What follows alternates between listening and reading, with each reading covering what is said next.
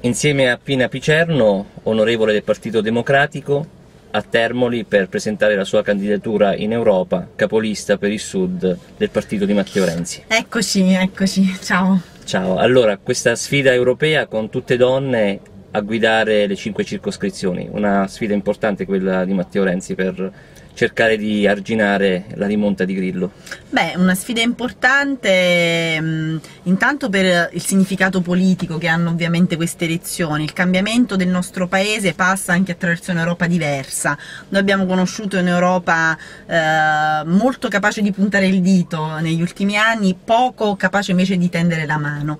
E noi vogliamo invece un'Europa che torni a essere quella della cooperazione, quella della solidarietà, quella dei popoli. Ecco, quindi meno Europa dei tecnocrati e dei banchieri, più Europa accogliente dei popoli che eh, ci aiuti a prendere delle decisioni nell'interesse eh, appunto delle persone, nell'interesse appunto dei cittadini e questo è quello che vogliamo fare, quindi dopo aver cambiato verso l'Italia vogliamo cambiare verso anche l'Europa. In questa settimana sei, stato al sei stata al centro della polemica con Beppe Grillo che ti ha attaccato per la tua battuta degli 80 euro, mm. però sei stata brava anche a rispondere con la lista della spesa Ballarò dando dimostrazioni comunicazione comunque il Partito Democratico in tema di comunicazione da quando c'è Matteo Renzi è veramente al top.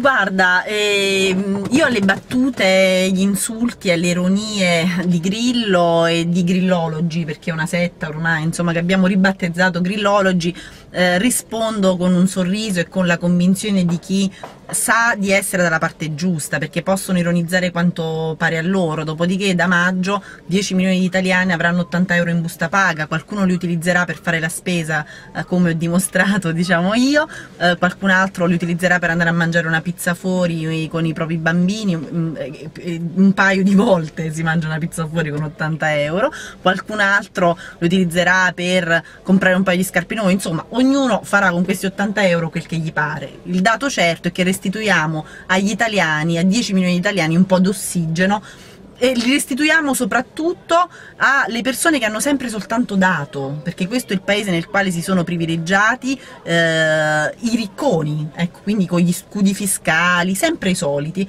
mentre alla maggior parte degli italiani si è chiesto sempre sacrifici. Noi pensiamo che in un momento di crisi come quello eh, che stiamo vivendo chi ha di più deve dare una mano e vogliamo a nostra volta dare una mano a chi l'ha sempre data in questi anni. Ultima battuta, hai conosciuto oggi il candidato sindaco del PD a Termoli, Angelo Sbrocca, ovviamente sì. è la tua prima occasione con lui, che persona ti è sembrata? Beh, mi è sembrata una persona, come dire, eh, di buon senso, um, che riuscirà a guidare sicuramente questa città nel migliore dei modi. Ho conosciuto anche una serie di candidati molto motivati, candidati a consiglieri comunali, insomma mi sembra un'ottima squadra che sono sicura riuscirà a restituire a Termoli eh, come dire, il futuro di cui Termoli, il futuro che Termoli merita. Ultimissima battuta, quando andrai a Bruxelles la prima cosa che penserai di realizzare? Beh, intanto io mi preoccupo di portare a Bruxelles la bellezza di questo mezzogiorno troppo spesso abbandonato, lasciato solo, che è fatto di tante storie meravigliose